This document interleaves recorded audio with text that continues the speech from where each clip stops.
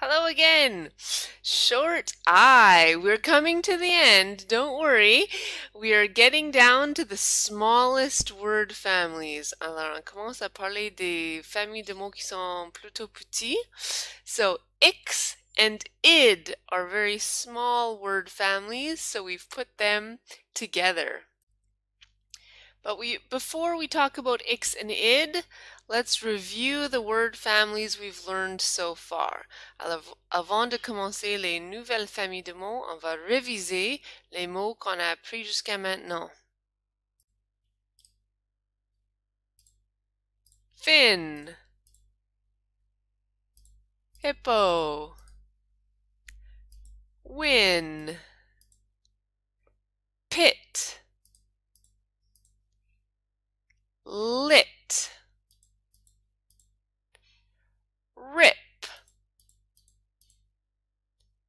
pin, bin, bit, spin, big, twig, pit, kit, hip, dip, chin, zip,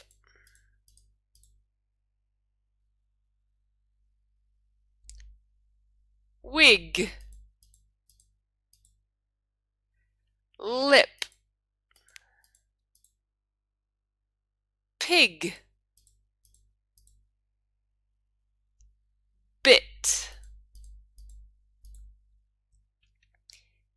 tin,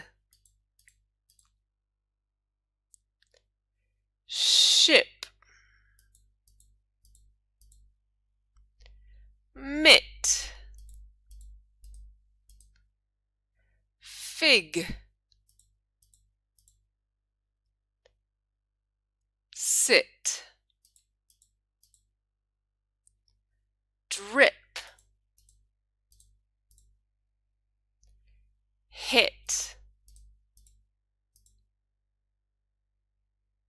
dig. Okay. Our first word family today is ix. La première famille de mots pour aujourd'hui c'est ix. Pas X, X, X. Six. Six, six.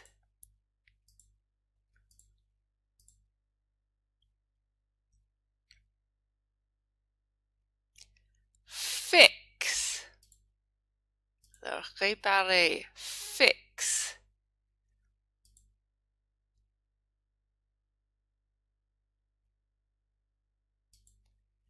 Mix. Mélanger, mix.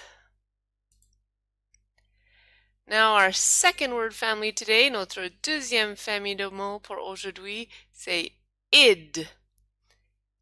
Id. Lid. C'est la couvercle. Lid.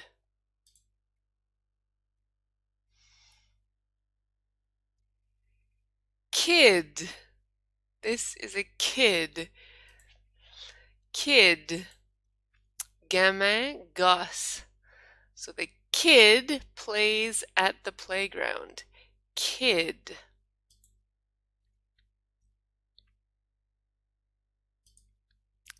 Did. As in, I did it.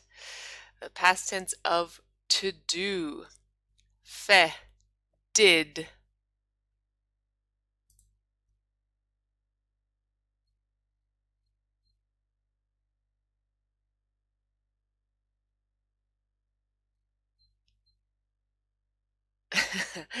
this is hid.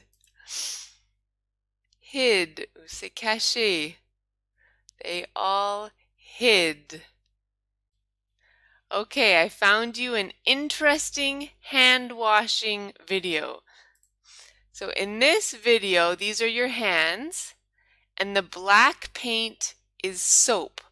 La peinture, c'est le savon. So this shows you where the soap goes when you wash our hands.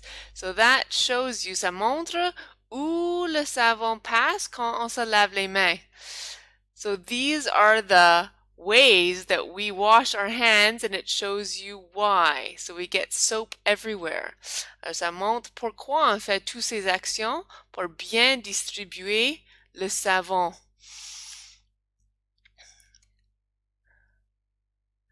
So I must not fear. All right, so you look at the end of the fingers are not soaped up.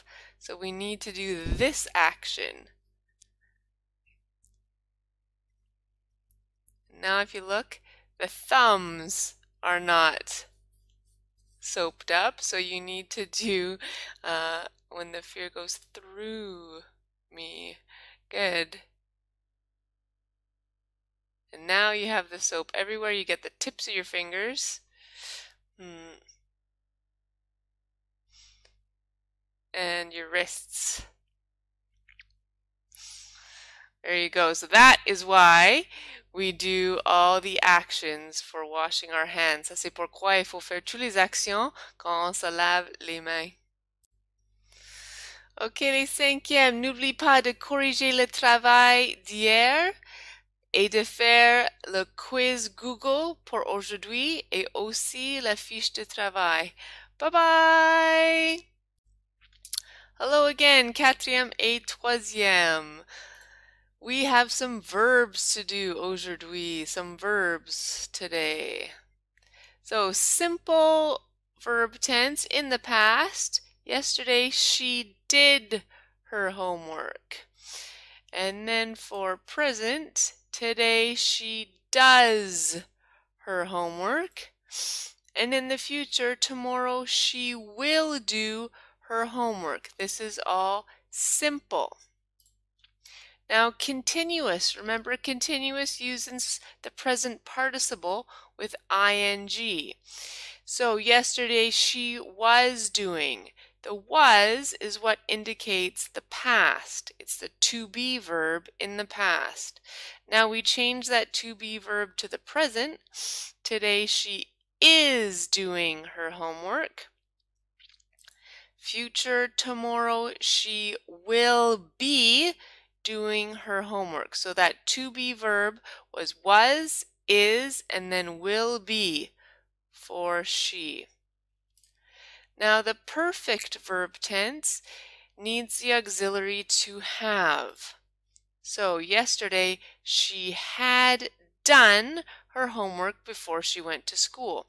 Done is the past participle.